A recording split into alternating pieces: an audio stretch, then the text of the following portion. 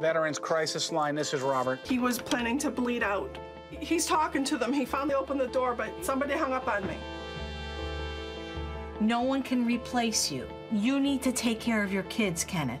Our movie is called Crisis Hotline Veterans Press One, and it is about the crisis of veteran suicide as seen through the eyes of some incredible responders at the country's only call center for veterans in crisis and their families. I've been involved in rescues where we've lost a vet, where he has committed suicide. We go through the whole range of emotions, at least I do. I get angry, I get very sad. I start to question whether I did a good enough job, that I could I have found him faster. You know, I think that we weren't sure how the responders were going to handle some of these phone calls from desperate veterans and family members. We thought that perhaps they would be uh, therapists, but really what they are is lifesavers. Really, what they do is offer people a lifeline, a reason to go on living, um, a reason to say, listen, we know that you've experienced death and loss.